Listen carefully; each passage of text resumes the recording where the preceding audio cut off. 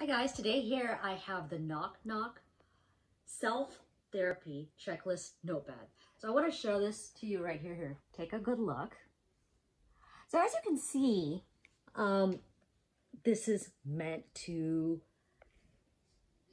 for self-therapy, you help, you fill it out and you figure things out for yourself. So psychodrama of the moment, how do I feel about it? Angry, scared, joyful, sad, cynical, powerless, you get the picture. How do I really feel?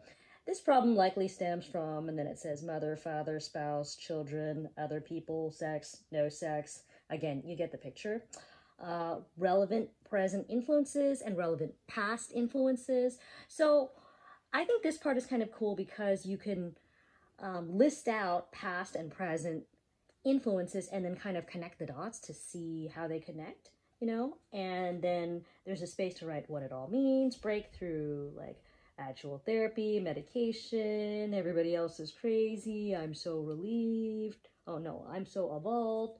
Um, but it's, uh, I honestly really like this checklist and honestly, I use it all the time. I was diagnosed with cancer within the past year, so just saying.